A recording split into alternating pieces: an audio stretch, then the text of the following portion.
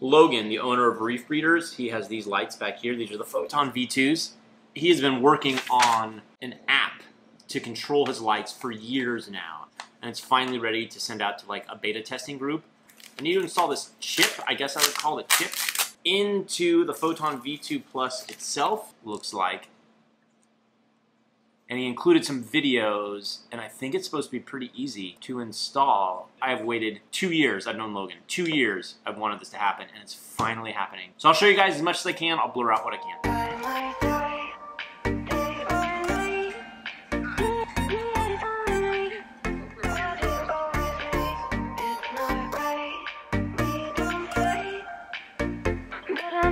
You've been through.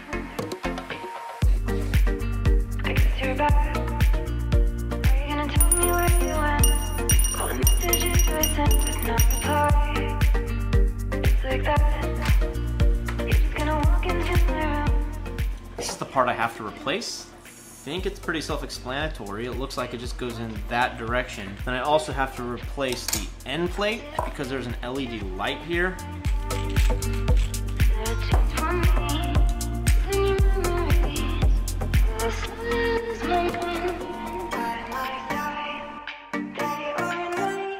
That was surprisingly easy to set up, but just one problem I ran into had to do with how to remove this piece. But let me turn around, let me show you. I couldn't get the I don't I don't know what it calls it, the the chip off until I realized you have to unscrew these metal things. There's two of them, and then it comes right off. And there's just three power things to plug in. You have to plug in this power, and then there's a power here, and then a power here, and everything else seems to fit really well.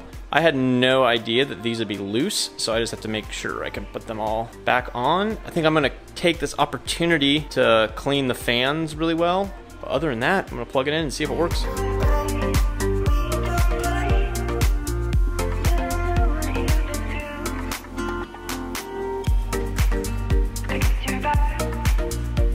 According to the instructions, the indicator LED should flash blue to indicate it is ready for pairing. That is very good news. Looks like it's working so far. It's connecting to my Wi-Fi. Okay, you ready? Okay, let's try. Here's the red, 100%. Oh, it works! Look! Okay, red off. Green, 100%. Yes! Logan, you did it! Okay, royal blue, 100%. White, 100%.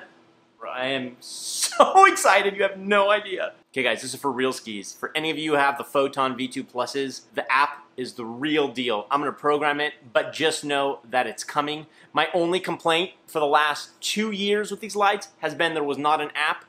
That is no more. As of now, 100% my go-to light, Photon V2s. Logan, good job. Man, this is fantastic.